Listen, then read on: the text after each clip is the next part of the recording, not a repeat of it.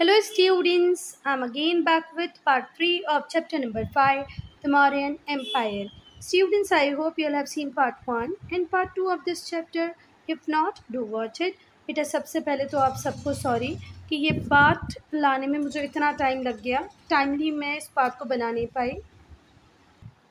Students till here we have completed everything in part two will start part three with Mauryan administration अब हम देखेंगे बेटा मॉरियंस के time पे एडमिनिस्ट्रेटिव मशीनरी कैसे काम करती थी रेवेन्यू पॉलिसीज़ कैसे बनाई जाती थी आर्मी को कैसे मेंटेन किया जाता था। तो अगर आपको ये सब जानना है तो आपको कौटिल्य की लिखी हुई बुक अर्थशास्त्र को पढ़ना चाहिए। अर्थशास्त्र में ग्रेट डिटेल में लिखा हुआ है किसको? मॉरियन एडमिनिस्ट्रेशन को। एडमिनिस्ट्रेशन को हिंदी में हम क्या कहते हैं? प्रशासन। प्रशासन व्यवस्था, अगर आपको मॉरियंस की जाननी है तो आपको किस बुक को पढ़ना चाहिए? अर्थशास्त्र को। किसने लिखा अर्थशास्त्र को? कौटिल्य ने एम्पायर के कैरेक्टर को जानना है एडमिनिस्ट्रेटिव मशीनरी को जानना है तो पढ़ो अर्थशास्त्र को। अशोक के इंस्क्रिप्शन से भी हमें बहुत सारी इन्फॉर्मेशन मिलती हैं। उस टाइम में गवर्नमेंट की पॉलिसीज़ कैसी होती थी रूल्स रेगुलेशन जानना है तो ये हमें कहाँ से भी पता चल जाता है? अशोक के इंस्क्रिप्शन से भी। ठीक है इंस्क्रिप्शंस क्या होते हैं बेटा? ये कंपेरेटिवली हार्ड सरफेसेस पे लिखे जाते हैं। कार्विंग होती है, ठीक है? जैसे आयरन पिलर हो गया, इस पर हम कार्विंग कर करके जो लिखेंगे, उसे क्या कहेंगे? इंस्क्रिप्शन तो अशोक के जो इंस्क्रिप्शन है, वो भी हमें मॉडर्न एडमिनिस्ट्रेटिव के एडमिनिस्ट्रेटिव सिस्टम के बारे में बहुत कुछ बताते हैं। पॉलिसीज़ प्लान्स रूल्स रेगुलेशन किसके? गवर्नमेंट के। वो सब आपको कहाँ से पता चलेंगे? इंस्क्रिप्शन से भी पता चल सकते हैं। और अर्थशास्त्र तो है ही, एक इन्फॉर्मेशन का मेजर सोर्स अब हम पढ़ेंगे राजा को। The king king supreme head होता था स्टेट का, ठीक है? इसके पास मिलिट्री की जुडिशरी की और एग्जीक्यूटिव्स की ये सारी पावर होती थी। राजा सेंट्रलाइज अथॉरिटी होता था। मिलिट्री का भी सब कुछ लेना, देना, कैसे मैनेज होगी, क्या रूल क्या रेगुलेशन सब राजा देखेगा। जुडिशल पॉलिसीज़ भी राजा ही बनाएगा। पूरी की पूरी जुडिशरी भी कौन ही है? सिर्फ़ राजा है। एग्जीक्यूटिव पावर भी किसके पास? राजा के पास ही होती थी। तो राजा सुप्रीम हेड है। मान गए आप। क्यों सुप्रीम हेड कह रहे हैं? क्योंकि मिलिट्री को भी वही देखता है। जुडिशियल पावर्स भी उसी के पास और एग्जीक्यूटिव पावर भी उसी के पास है। He also had the power to enact laws और कानून बनाने की शक्तियाँ भी मतलब लेगिस्लेचर भी कौन ही है? राजा ही है। बेटा लास्ट पार्ट में हमने डिस्कस किया था मेगिस्थनीस की बुक इंडिका को। तो जब आप मेगिस्थनीस की बुक इंडिका को पढ़ते हो तो उसमें पता चलता है बेटा कि जो राजा होता था, वो बहुत ही हार्ड वर्कड ऑफिशियल होता था, है ना? वो दिन में सोता भी नहीं था, पूरे टाइम कोर्ट में रहता था। तो मेगिस्थनीस की राइटिंग्स को पढ़कर हमें पता चलता है कि जो राजा हुआ करता था, बहुत ही हार्ड वर्कड ऑफिशियल हुआ करता था। दिन के टाइम बेचारा सोता भी नहीं था, पूरे टाइम कोर्ट में रहता था और सारे दिन वो पब्लिक वेलफेयर के बारे में सोचता रहता था पब्लिक बिज़नेस में जुड़ा रहता था। Public business in the sense कि वो कोई ट्रेड व्यापार नहीं करता था। लोगों की जो भी छोटी छोटी प्रॉब्लम है बड़ी बड़ी प्रॉब्लम है, उनको सॉल्व करता रहता था। But remains in the court the whole day for the purpose of transacting the public business public business का मतलब व्यापार ट्रेड से नहीं है बाइंग एंड सेलिंग से नहीं है। लोगों की जितनी भी प्रॉब्लम है, जो वो राजा से एक्सपेक्ट करते हैं, उन सारी एक्सपेक्टेशंस को पूरा करने के लिए वो पूरा दिन कोर्ट में रहते थे। कौटिल्य ने डिवाइड किया था राजा के दिन को एट पार्ट्स में। कौटिल्य की जब आप बुक पढ़ते हो अर्थशास्त्र तो उसमें लिखा हुआ है भैया कि राजा को दिन में ये ये ये काम करना चाहिए, और उसने पूरे दिन को कितने पार्ट्स में डिवाइड किया हुआ था? आठ पार्ट में डिवाइड किया हुआ था। ये राजा की ड्यूटी होती थी कि वो क्लोज अटेंशन देगा, बहुत ज़्यादा ध्यान रखेगा किसका? लोगों का। ठीक है? लोगों के कल्याण का। सोशल ऑर्डर प्रॉपर मेंटेन रहे। मिलिट्री एक्शंस प्रॉपर हो। इन सब का ध्यान कौन ही रखेगा? राजा। फिर से ध्यान से सुनो।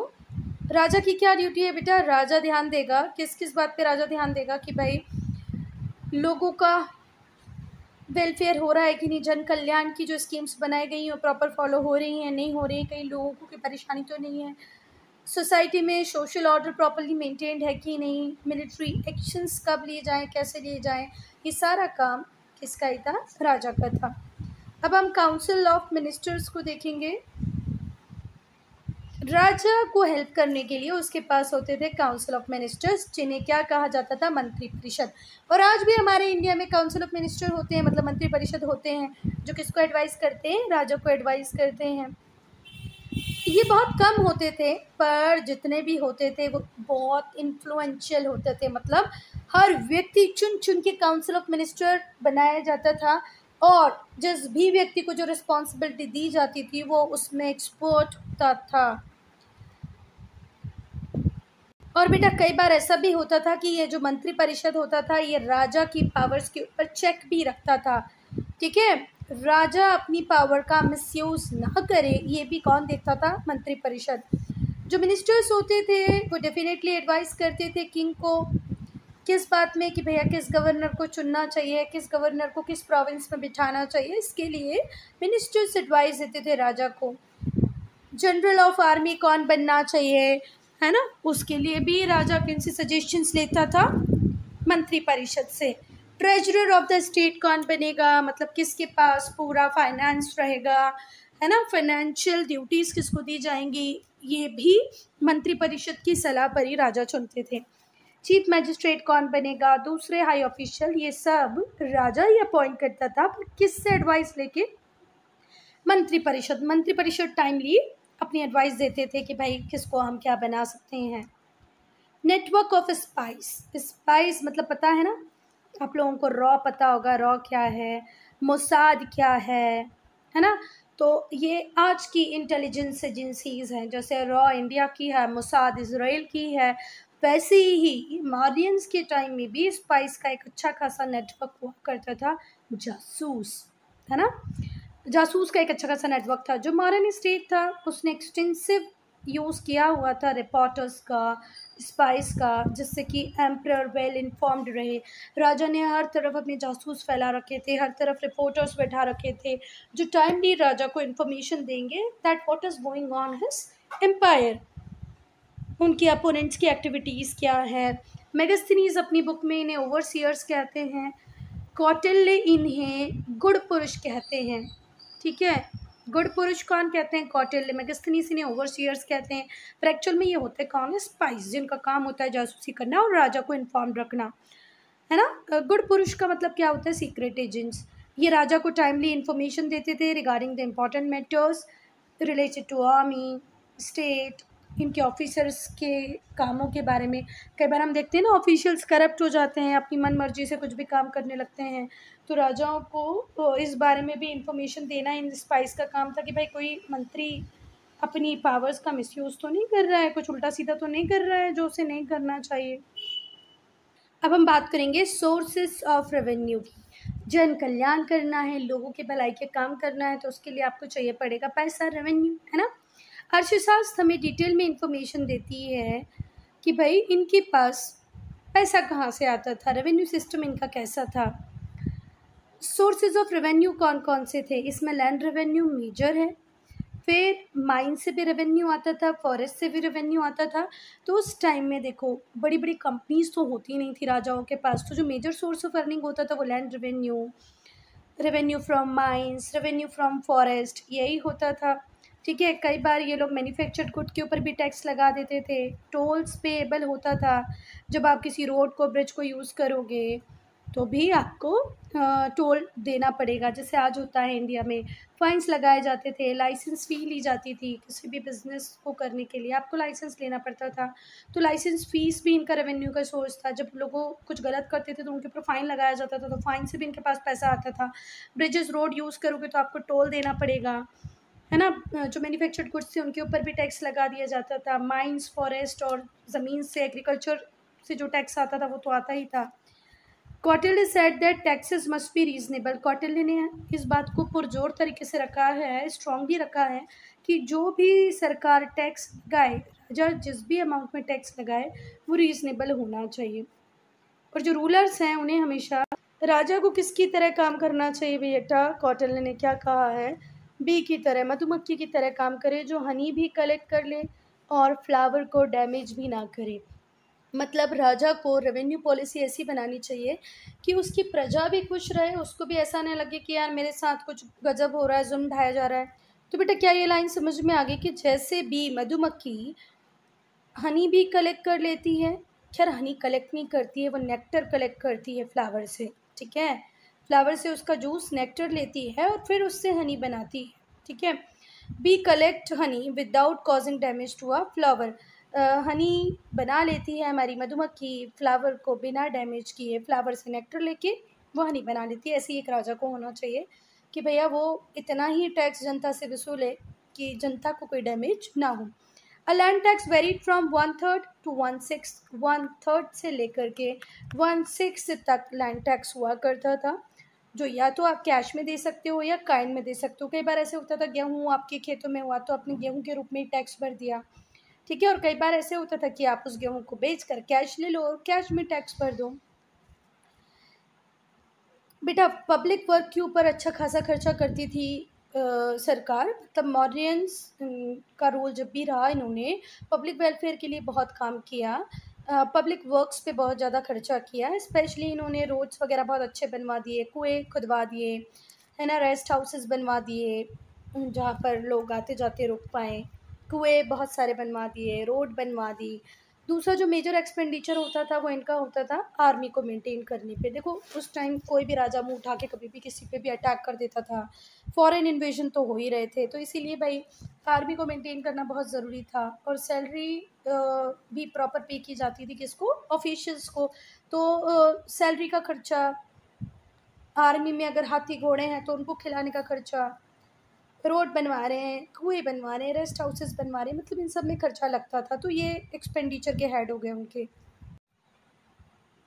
बेटा अब हम प्रोविंशियल एडमिनिस्ट्रेशन की बात करेंगे कि भाई स्टेट्स को कैसे एडमिनिस्टर करते थे ये लोग? तो राजा तो हो गया फ़र्स्ट रैंकर है ना? और सेकेंड रैंक होती थी किसकी? गवर्नर की। राजा के बाद अगर कोई शक्तिशाली व्यक्ति हुआ करता था तो वो गवर्नर ही हुआ करता था। इसे प्रोविंस का इंचार्ज बना दिया जाता था। अशोक के इंस्क्रिप्शन को जब हम पढ़ते हैं तो हमें चार गवर्नर्स के रिगार्ड्स में पता लगता है। एक को इन्होंने प्लेस किया था तक्षशिला में, जो नदन प्रोविंस थी दूसरे को किया था उज्जैन में, तीसरे को था तोशली में, और चौथा कहाँ था बेटा? स्वर्णगिरी में। तो एक को यहाँ रखा हुआ था, एक को यहाँ रखा हुआ था, एक को यहाँ रखा हुआ था, और एक को यहाँ रखा हुआ था। ये चार गवर्नर हुआ करते थे। कहाँ कहाँ के? तक्षशिला ये northern province Ujjain western province है तोशाली ईस्टर्न प्रोविंस है और स्वर्णगिरी सदर्न प्रोविंस है। जो गवर्नर होते थे, इनके अपने मिनिस्टर होते थे, इनके पास अपनी पावर होती थी। ये चाहे जिसको ऑफिशियल बना लेते थे ऑफिसर्स को अपॉइंट कर लेते थे, जितनी इनकी नीड होती थी, उतनी ये आर्मी भी मेंटेन करते थे। जो स्मॉलर प्रोविंस होते थे, उन्हें ऑफिशियल्स के अंडर में रखा जाता था। उन ऑफिशियल्स को हम क्या कहते थे? प्रदेशिका ठीक है? तो फिर से ध्यान से सुनो, गवर्नर के पास भी पूरी पावर्स होती थी, वो अपने मिनिस्टर्स को अपॉइंट कर लेते थे, उनके पास भी एक पूरा मंत्री परिषद होता था। पर जो छोटे छोटे प्रोविंसेस होते थे, उन्हें ऑफिशियल्स को दे दिया जाता था कि भैया तुम इन्हें मैनेज करो। और इन ऑफिशियल्स को क्या कहा जाता था? प्रदेशिका, ये हमें कहाँ से पता चला है? अशोक एडिक्स से। अब हम डिस्ट्रिक्ट एडमिनिस्ट्रेशन की बात करेंगे बेटा। आप लोगों को नहीं लगता कि पूरी एडमिनिस्ट्रेटिव मशीनरी ऐसा लग रहा है जैसे आज की एडमिनिस्ट्रेटिव मशीनरी की तरह ही है? सेंट्रल गवर्नमेंट पीएम स्टेट के गवर्नर्स फिर डिस्ट्रिक्ट पे आ गए हम। तो मतलब एडमिनिस्ट्रेटिव सिस्टम बहुत ज़्यादा स्ट्रॉन्ग था इनका। प्रोविंसेस को इन्होंने डिस्ट्रिक्ट्स में डिवाइड किया हुआ था, जिससे कि एडमिनिस्ट्रेशन बहुत स्मूथ हो जाए। अशोक के इंस्क्रिप्शन को हम पढ़ते हैं तो हमें तीन क्लासेस मिलती हैं यहाँ पर ऑफिशियल्स की देखने को। एक का नाम है राजुकास, दूसरे युक्तास और तीसरे महामात्रास। राजुकास, युक्ता और महामात्रास। राजुकास इंचार्ज होते थे डिस्ट्रिक्ट के, है ना? And correspond to the district magistrate at the present day अगर हम राजुकास की बात करें तो आज की डेट में आप ऐसा मान सकते हो कि आज जो पोजीशन जो पावर डिस्ट्रिक्ट मजिस्ट्रेट की होती हैं उस टाइम में राजुकास की हुआ करती थी। ये स्टेट प्रॉपर्टी को मैनेज करते थे लॉ एंड ऑर्डर को प्रॉपर मेंटेन रखते थे। एक डिस्ट्रिक्ट एक तहसील में नियम, कानून व्यवस्था अच्छी बनी रहे प्रॉपर्टी के मैटर्स प्रॉपर सॉल्व हों। ये कौन देखते थे? राजू कास युक्त, युक्ता का काम क्या होता था बेटा? ये डिस्ट्रिक्ट ट्रेजरी की तरह होते थे डिस्ट्रिक्ट ट्रेजरी ऑफिसर्स होते थे। जिनका काम होता था रेवेन्यू कलेक्ट करना और प्रॉपर अकाउंट मेंटेन रखना, कहाँ से आया, कहाँ गया, पैसा। ये युक्ता का काम था। फिर महामात्रास कौन होते थे, इनके पास स्पेशल डिपार्टमेंट्स होते थे। अलग अलग अलग देखो, सिर्फ़ पैसा कलेक्ट करना और ज़मीन, जायदाद लॉ एंड ऑर्डर इतना ही नहीं होता बेटा, इसके अलावा भी बहुत कुछ होता है। तो उनके लिए महामात्रास को अपॉइंट किया हुआ था। अशोक ने एक नई क्लास बनाई थी बेटा महामात्रास की। दैट इज़ धम्म महामात्रास अशोक ने महामात्रास की एक नई क्लास बनाई थी, जिन्हें कहा जाता था धम्म महामात्रास, जो धर्म को प्रमोट करते थे। देखो एडमिनिस्ट्रेशन में अभी तक तो पैसा लेना, पैसा देना, पैसे कहाँ आए, कहाँ गए, वो सब मैनेज करना वो एक अलग बात थी। पर जब अशोक कलिंग वॉर जीत गए, उसके बाद जो उनका हृदय परिवर्तन हुआ तो उन्होंने एक स्पेशल क्लास बनाई, जिनका नाम था धम्म महामात्रास, जो धर्म को प्रमोट करते थे। और हमेशा इस बात का ध्यान रखते थे कि प्रजा खुश है कि नहीं है, लोगों का भला हो रहा है, नहीं हो रहा है, जन कल्याण की स्कीम्स प्रॉपरली बनाई जा रही हैं प्रॉपरली फॉलो कर हो रही हैं, नहीं हो रही हैं।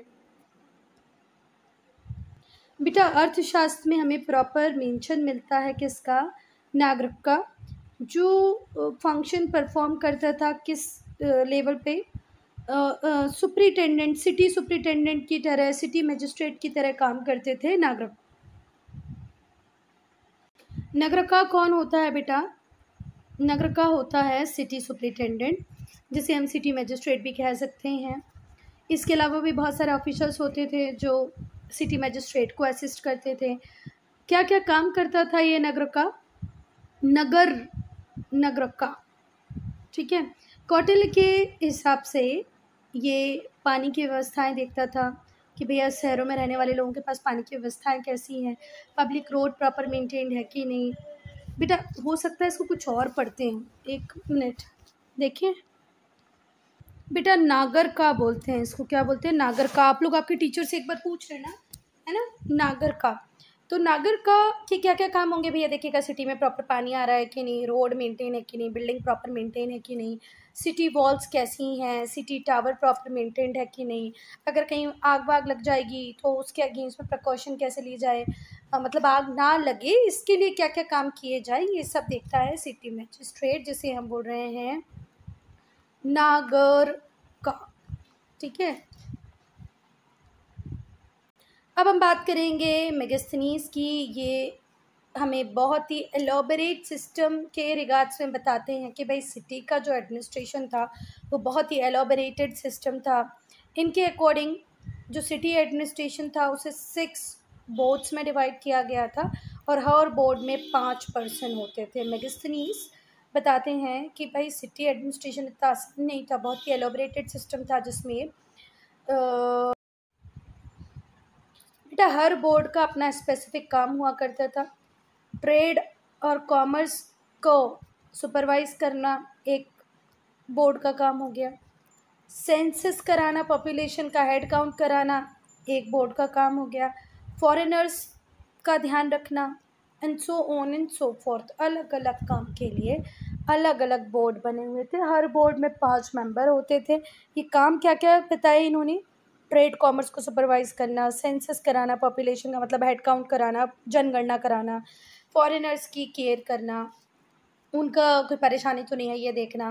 जो सिक्स बोर्ड होते थे, ये साथ में मिलकर भी काम करते थे। The six board acted together in general matters जैसे कि पब्लिक बिल्डिंग्स को प्रॉपरली मेंटेन रखना है फायर प्रोटेक्शन रखना है, दीवारों की केयर करनी है टेम्पल्स वगैरह को प्रॉपरली मेंटेन करना है। ठीक है, वैसे तो इन्हें स्पेसिफिक काम दिए हुए थे, पर कुछ काम ऐसे थे जिनमें ये लोग मिलकर काम करते थे। पब्लिक बिल्डिंग्स को देखना फायर प्रोटेक्शन वॉल्स जो मंदिर की हैं, उन्हें देखना।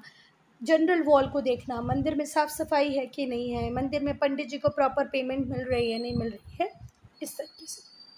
देन एडमिनिस्ट्रेशन ऑफ़ जस्टिस न्याय प्रणाली कैसी थी, वो हम देखेंगे। मेगस्थनीस इस बात को कहते हैं कि क्रिमिनल लॉ का जो सिस्टम था, वो भी बहुत एफिशिएंट था। अगर कोई सीरियस ऑफेंस होता था तो डेथ पेनल्टी भी दी जाती थी, फांसी की सज़ा भी दी जाती थी। जो लाइटर क्राइम्स होते थे उसमें कई बार नाक काट दी जाती थी ऑफेंडर्स के को टकला कर दिया जाता था, है ना? Penalty that made ones feel ashamed ऐसी ऐसी पेनाल्टी मतलब ऐसी ऐसी पनिशमेंट दी जाती थी जिससे कि ऑफेंडर को शर्म आए कि भैया मैंने क्या करा और उसके बदले में मुझे क्या मिला? लाइटर क्राइम में नाक काट दी जाती थी लोगों की, कई बार उन्हें टकला करके घुमाया जाता था शहरों में। Evasion of taxes on goods sold और municipal cess were regarded as serious offence अगर किसी ने टैक्स बचाने की कोशिश की टैक्स बचाने तो टैक्स की चोरी की, जो सामान बेचा सौ और बताया पचास और पचास का टैक्स भर दिया, अगर ऐसा पता चल गया ना मॉडर्न एडमिनिस्ट्रेशन के टाइम में उनके लोगों को तो आपके ऊपर भयंकर पेनाल्टी लगाई जाएगी।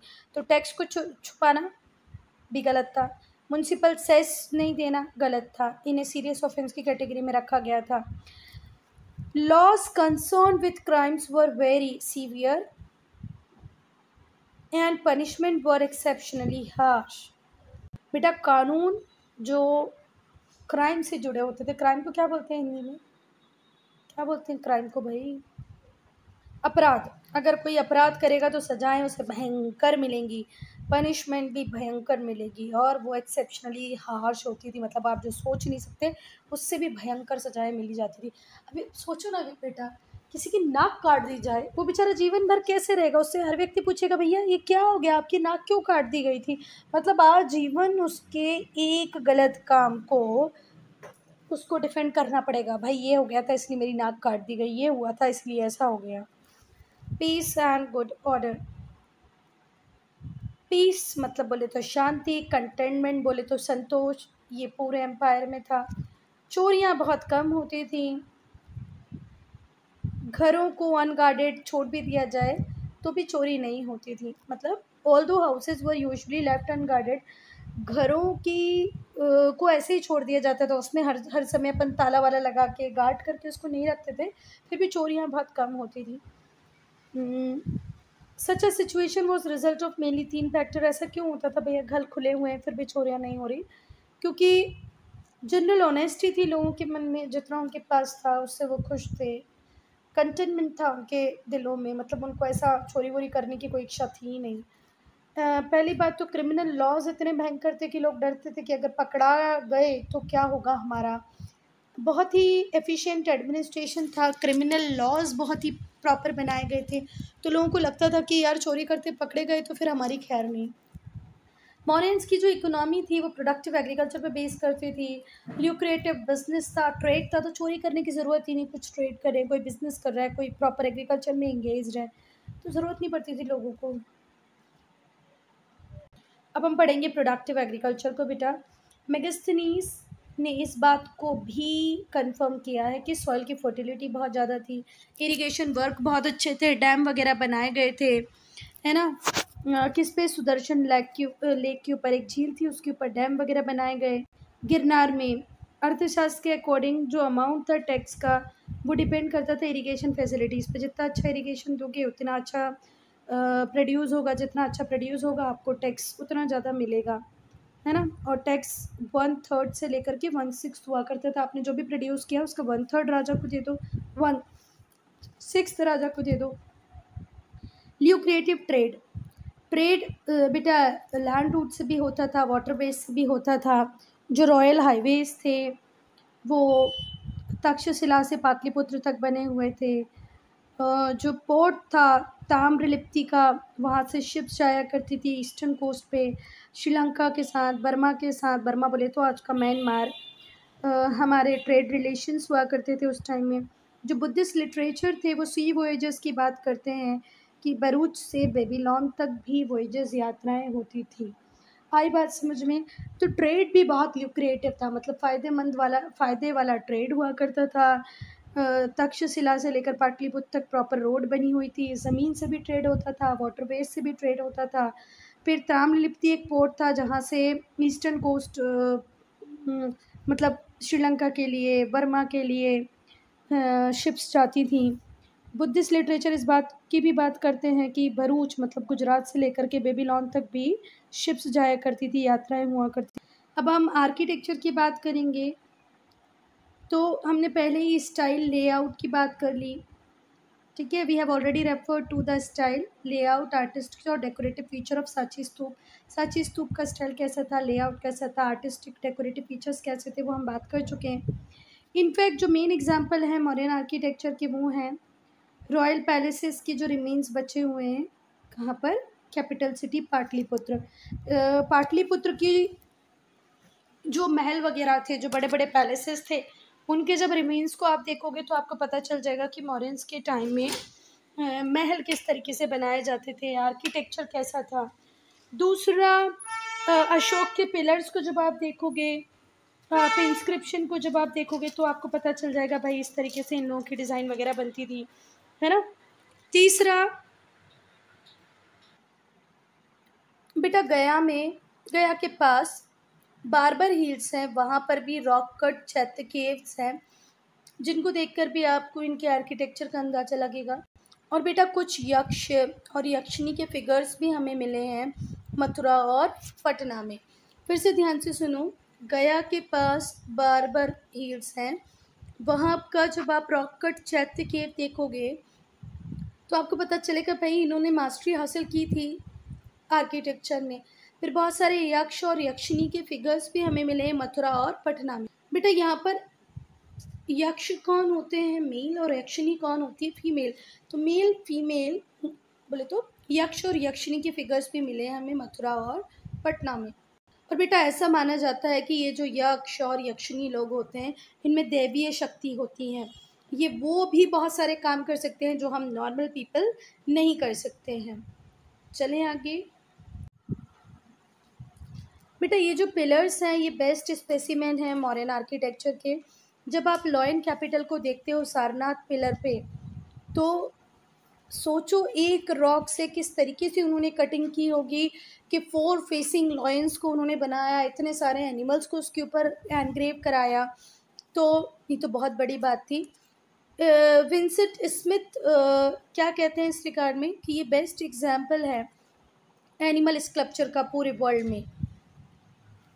जो यक्षिणी फिगर है दीदा दीदारगंज में, जो यक्षिणी का फिगर है दीदारगंज में, जो पटना के पास में है, वो भी हमें बताता है कि भाई इनका आर्किटेक्चर कितना बढ़िया था, क्योंकि यक्षिणी की जो बॉडी दिखाई गई है फुल्ली डेवलप्ड बॉडी दिखाई गई है the yakshinis are names in Indian mythology बेटा, ये जो यक्षिणीज होती थी इन्हें इंडियन माइथोलॉजी में निम्स की तरह दिखाया गया है। एक बार ध्यान से सुनना अब बेटा, ये निम्स का मतलब क्या होता है? या तो अप्सराएँ समझ लो आप, या देव यहाँ समझ लो। तो यक्ष, यक्षिणी देवी देवता भी आप समझ सकते हो। या अप्सराएँ आप इनको बोल सकते हो किसको? यक्षिणी को। तो ठीक है इंडियन माइथोलॉजी में यक्षिणीस को निम्स कहा गया। निम्स बोले तो देवियाँ या अप्सराएँ कहा गया है। और एक, जो मूर्ति हमें मिली है दीदारगंज पटना के पास, उसमें यक्षिणी को प्रॉपर फुल्ली डेवलप्ड बॉडी में दिखाया गया है। तो मतलब ये स्कल्पचर भी बहुत अच्छे से बना लेते थे। अब बेटा हम धम्म को पढ़ेंगे। धम्म क्या है? संस्कृत वर्ड धर्म का ही प्राकृत वर्जन। प्राकृत में धम्म कहते हैं? संस्कृत में धर्म कहते हैं। अशोक ने एक ही युद्ध की भयवहता मतलब डरावनापन देखा। एक सिंगल वॉर में इतना खून खराबा उसने देखा कि वो कन्विंस हो गया इस बात को जानने लग गया कि भाई, ताकत से मुझे अब किसी को नहीं जीतना, किसी को मार के कुछ भी नहीं जीतना है मुझे। और उसने ये जान लिया कि भैया, जो मेन विजय है, मुख्य विजय है मेन जो जीत है, वो अधिकारों की होनी चाहिए, ना कि के शक्ति की। एक ही युद्ध के बाद इतना कुछ अशोक ने देख लिया कि उसको इस बात पे भरोसा हो गया कि अगर अब लोगों को जीतना है तो धर्म से जीतना है। मुख्य विजय मेन जो जीत होगी मेन कॉन्क्वेस्ट होगी, वो अधिकार की होगी, ना कि के शक्ति की। अब बेटा, हमें अशोक के धर्म के बारे में कहाँ से पता चलता है? तो उनके खुद के इंस्क्रिप्शंस इंस्क्रिप्शन बोले तो स्टोन एडिक्स बहुत सारी रॉक्स के ऊपर उन्होंने लिखवाया हुआ है। Displayed at many prominent places बहुत सारी इंपॉर्टेंट प्लेसेस हैं जहाँ पर उन्होंने इंस्क्रिप्शंस मतलब स्टोन एडिक्स बनवाए हैं कार्विंग करवाई है स्टोन के ऊपर। They consist of fourteen major and several minor उसमें से चौदह मेजर हैं और बहुत सारे माइनर रॉक एडिक्स हमें मिले हैं। कहाँ पर? ट्वेंटी टू लोकेशंस पे मिले हुए हैं। ठीक हुई बात? फिर से ध्यान से सुनो। द सोर्सेज ऑन अशोक धम, अशोक धम के रिगार्ड्स में हमें कहाँ से पता चलता है? तो उनके खुद के इंस्क्रिप्शन से पता चलता है, जो प्रोमिनेंट प्लेसेस पे हमें देखने को मिले हैं। इसमें फोर्टीन मेजर और बहुत सारे माइनर रॉक एडिक्स मिले हैं। और कहाँ पर मिले? ट्वेंटी टू लोकेशंस पे मिले हैं। Seven pillar edicts the cave inscription and other inscription सात तो पिलर एडिक्स हैं पिलर्स के ऊपर लिखा हुआ है, कुछ कहीं पर केव्स के ऊपर लिखा हुआ है, कुछ अदर भी हैं। अब हम बात करेंगे फंडामेंटल प्रिंसिपल्स की। धर्म के धम्म के फंडामेंटल प्रिंसिपल्स जो प्राकृत वर्ड धम्म है, वो संस्कृत वर्ड धर्म से आया है, दोनों सेम ही हैं। और बेटा, यहाँ धर्म का मतलब सिर्फ़ और सिर्फ़ रिलीजियन से नहीं है। ठीक हुई बात? यहाँ धर्म का मतलब है justice virtue morality law and duty ठीक है? न्याय न्याय से है, गुण से है नैतिकता से है, कानून से है और ड्यूटी से एक व्यक्ति को अपने जीवन में कैसे रहना चाहिए, कौन से कोड ऑफ़ कंडक्ट को फॉलो करना चाहिए? धर्म इन सारी चीज़ों के रिगार्ड में बात करता है। धर्म का मतलब सिर्फ़ रिलीजन नहीं है और अशोक के धर्म का मतलब तो सिर्फ़ धर्म या रिलीजन बिल्कुल भी नहीं है। यहाँ पर justice virtue morality law duty सबकी बात हुई। है न्याय कौन? नैतिकता, कानून, कर्तव्य। जो फंडामेंटल प्रिंसिपल हैं अशोक के धर्म के, वो हैं purity of domestic life and truthfulness सही बोलें। आप अपनी लाइफ में जो भी कंडक्ट करें, बहुत बढ़िया तरीके से करें। ठीक है, उनमें प्योरिटी होनी चाहिए, उनमें पवित्रता होनी चाहिए, उनमें सच्चाई होनी चाहिए। टॉलरेंस टॉलरेशन मतलब सहनशीलता आपके अंदर होना चाहिए not to speak evil of other religion किसी दूसरे धर्म के लिए। उल्टी सीधी बातें आपको नहीं करनी चाहिए तो टॉलरेशन सहनशीलता आपके अंदर होनी चाहिए। अहिंसा सेंटिटी ऑफ़ लाइफ आप किसी को मारे पीटे नहीं जीवन में पवित्रता रखें। ट्रू सेरेमोनियल अब बेटा, क्या मतलब होता है ट्रू सेरिमोनियल का? ट्रू सेरिमोनियल का मतलब अशोक ने क्या बताया है? कि काइंडनेस टू लिविंग क्रिएचर जितने भी लिविंग क्रिएचर हैं आपके आसपास, जीवित प्राणी हैं, उनके टूवर्ड्स आपके मन में दया भावना होनी चाहिए लिबरालिटी होनी चाहिए एस्केटिक्स के लिए, ब्राह्मण्स के लिए, ब्राह्मण्स को आपको स्वतंत्रता देनी पड़ेगी, तपस्वियों को स्वतंत्रता देनी पड़ेगी, उनको उनके अकॉर्डिंग जीवन जीना है तो उसके लिए आप उनको सारी हेल्प ही करोगे, कभी आप उनके काम में रुकावट नहीं बनोगे, ठीक है? तो यहाँ पर ट्रू सेरिमोनियल का मतलब क्या है? अशोक की घोषणा थी कि सच्चा अनुष्ठान तो वही होगा जब जीवित प्राणियों के प्रति आपके मन में श्रद्धा हो, दया हो तपस्वी हों, ब्राह्मण हों, उन्हें आप प्रॉपर तरीके से डील करें। अब हम पढ़ेंगे कि भाई अशोक ने अपने धर्म को स्प्रेड करने के लिए कौन से मीन्स को अडॉप्ट किया।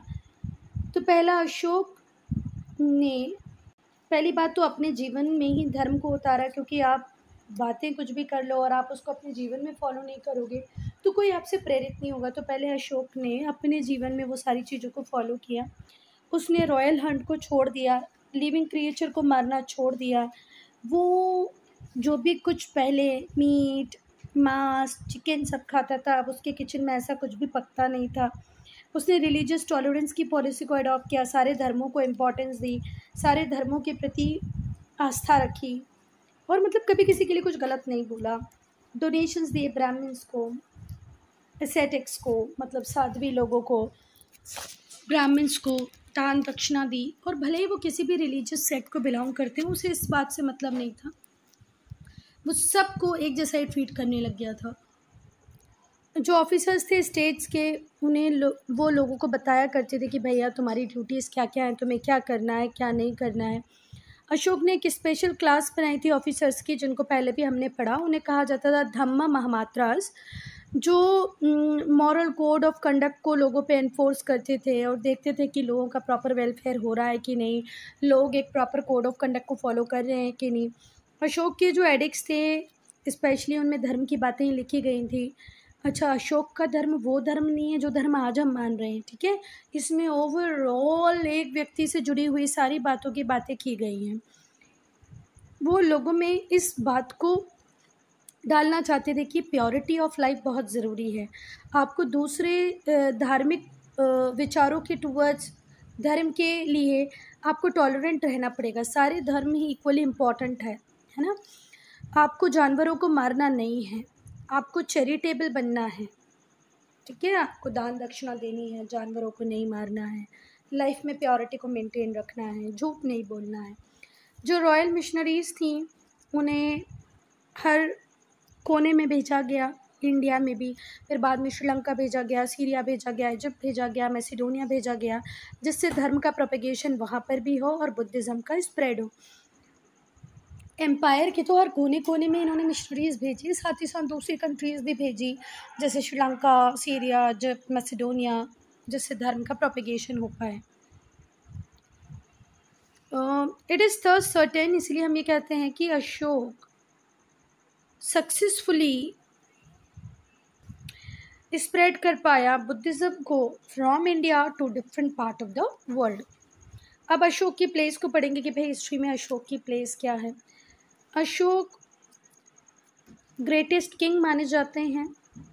पूरे विश्व के इतिहास में नॉट ओनली इंडिया हम इंडिया की अकेले बात नहीं करें बेटा, पूरी दुनिया का विश्व इतिहास की बात करेंगे तो अशोक की एक इंपॉर्टेंट प्लेस है ग्रेटेस्ट किंग माना गया है इन्होंने। ठीक है?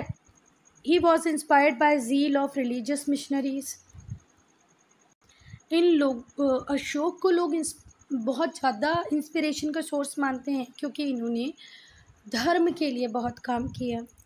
कभी भी किसी भी राजा ने इतना काम नहीं किया बेटा। बेटा, साथ ही साथ धर्म के लिए वो इतना काम कर रहा था, पर साथ ही साथ उसने कभी अपनी ड्यूटी उसको नहीं भूला। वो राजा है, राजा होते हुए उसके क्या कर्तव्य हैं, प्रजा को कैसे सुविधाएँ देना है, वो सब काम भी वो करता रहा। उसने कभी अपनी किंगडम को नेगलेक्ट नहीं किया। ठीक है, उसके मन में बहुत उत्साह था कि वो धर्म का प्रचार प्रसार करे रिलीजियस मिशनरीज़ पे उसने अच्छा खासा खर्चा भी किया, पर साथ ही साथ लोगों के लिए भी, लोगों के लिए भी बहुत काम किया। ठीक है, और इस प्रिंसली ड्यूटीज़ उनकी जो प्रिंसली ड्यूटीज़ थी, उनको कभी उन्होंने छोड़ा नहीं। He was not content with mere preaching और वो सिर्फ़ उपदेश देने भर में विश्वास नहीं रखता था। उसने जिन बातों का उपदेश दिया, उनको अपने जीवन में भी फॉलो किया। बहुत ज़्यादा लिबरल हो गया, है ना? बहुत ज़्यादा जेनरस हो गया टूवर्ड्स डिफरेंट फेथ्स अगर हम सेवेंथ पिलर एडिक्ट की बात करें तो उसमें, उसने धम्म महामात्रा उसको ऑर्डर दिया है। कि ब्राह्मण की आजीविकाओं को भी देखो कि भाई ब्राह्मण लोग पर्याप्त मात्रा में धन कमा पा रहे हैं नहीं कमा पा रहे हैं उनके पास पैसा है नहीं है। उसके जब पिलग्रिम जब वो तीर्थ यात्रा करते थे बुद्धिस्ट प्लेसेस की तो उसने बहुत सारे डोनेशंस दिए मतलब बुद्ध जब हम्म, हमारे अशोक खुद इधर उधर जाते थे बुद्धिस्ट प्लेसेस को विज़िट करते थे तो वहाँ पर वो बहुत सारा डोनेशन दे के आते थे। और वहाँ पर जो ब्राह्मण्स होते थे उन्हें भी बहुत सारा पैसा देते थे। जो एस्केटिक्स होते थे अदर रिलीजियस सेक्ट के, उसको भी बहुत सारा पैसा देते थे, उनकी भी सुख सुविधाओं का ध्यान रखते थे। ये हमें किससे पता चलता है? पिलर एडिक्ट सेवन से, कि उन्होंने धम्म महामात्रा को स्पेशल ऑर्डर दिया है कि भैया ब्राह्मण की आजीविकाओं का ध्यान रखो। अब हम डिस्कस करेंगे कि कैसे डिक्लाइन हुआ मौर्यन एम्पायर का। मॉडर्न एम्पायर का डिक्लाइन कैसे हुआ, इनका फॉल कैसे हुआ, उसमें बहुत सारे फैक्टर्स का कंट्रीब्यूशन है बेटा। है ना? कुछ स्कॉलर्स का मानना है कि अशोक अशोक की जो पैसिफिस्ट पॉलिसीज़ थी, इसी वजह से इसके एम्पायर का डिक्लाइन हुआ। इसने जो नॉन वायलेंस को एक्सेप्ट किया, सारे रिलीजन्स को प्रॉपर रिस्पेक्ट दी तो लोग बहुत लाइटली लेने लग गए थे अशोक को। कुछ हिस्टोरियन का मानना है, बेटा अशोक की जो प्रो बुद्धिस्ट पॉलिसीज़ थी, उसकी वजह से ब्राह्मणिकल काउंटर रेवोल्यूशन हुआ। अशोक बुद्धिज़्म को बहुत ज़्यादा इंपॉर्टेंस देने लग गए थे, ये बात ब्राह्मणों को पसंद नहीं थी तो उन लोगों ने रेवोल्यूशन किया और उनको सपोर्ट किया पुष्यमित्र ने। और पुष्यमित्र ही आगे जाके क्या बनेंगे? सुंग डायनेस्टी के फाउंडर बनेंगे। इनफैक्ट बहुत सारे रीजंस थे, जिस वजह से एम्पायर टूट गया, उसका डिक्लाइन हुआ। एम्पायर इतना बड़ा हो चुका था बेटा कि उसे स्ट्रॉन्ग हैंड की ज़रूरत थी। पर अशोक के जो सक्सेसर थे वो उतने स्ट्रॉन्ग नहीं थे वो वीक थे। दूसरा बहुत ज़्यादा खर्चा होने लग गया था आर्मी पे स्टेट ऑफिशियल के पेमेंट पे जिस वजह से फाइनेंशियल क्राइसिस आई थी एम्पायर में। इतना बड़ा एम्पायर हो जाता है इतने सारे ऑफिशियल्स हो जाते हैं इतनी बड़ी आर्मी तो ऑब्वियसली बात है आपको खर्चा बहुत ज़्यादा करना पड़ेगा। आ, बाद में देखा कि राजा प्रॉपर टैक्स भी कलेक्ट नहीं कर पा रहे थे लोगों से और इस वजह से वो इतनी बड़ी आर्मी को मेंटेन करने के कॉस्ट को बेयर नहीं कर पा रहे थे। जो चीफ थे कलिंग के और सदर्न प्रोविंस के, उन्होंने विद्रोह कर दिया था। उन्होंने अपने आप को फ्री कर लिया। मॉरियन एम्पायर के कंट्रोल से वो फ्री हो गए। इस पर क्वेश्चन ज़रूर आ सकता है तो ध्यान से पढ़ना। पहला रीज़न है अशोक की पैसिफिस्ट पॉलिसी दूसरा रीज़न है कि भैया, इतने बड़े एम्पायर को इंटैक्ट रखने के लिए स्ट्रॉन्ग रूलर चाहिए थे, पर अशोक के सक्सेसर वीक थे। फिर हमने देखा कि कुछ जगह रिवोल्ट होने लग गए। रिवोल्ट कहाँ पर हुआ? कलिंग में हुआ और सदर्न प्रोविंसेस में हुआ। इन रिवोल्टेड की वजह से भी मॉडर्न एम्पायर डिसइंटीग्रेट हुआ। फिर हमने देखा इतने बड़े एम्पायर के लिए इतनी सारी आर्मी इतने सारे ऑफिशियल्स उनकी पेमेंट फाइनेंशियल क्राइसिस आ गई। फिर हमने देखा अशोक के जो सक्सेसर थे वो ध्यान ही नहीं देते थे कि भैया कैसे अपने एम्पायर को सेफ़ गार्ड करना है। कैसे नॉर्थन वेस्टर्न प्रोविंस पे ज़्यादा ध्यान देना है। जो ग्रीक किंग थे उन्होंने इन्वेट करना स्टार्ट कर दिया इंडिया के नॉर्थ वेस्ट पार्ट को। आ, बाद में इन सब सर्कमस्टेंसेस के चलते बृहद्रथ जो Mauryan ruler last Mauryan ruler था, उसे मॉरन जनरल पुष्यमित्र सुंग ने मार दिया। और ये हुआ 187 बीसी में और यहाँ पर मॉरन एम्पायर का होता है एंड और आपके चैप्टर का भी।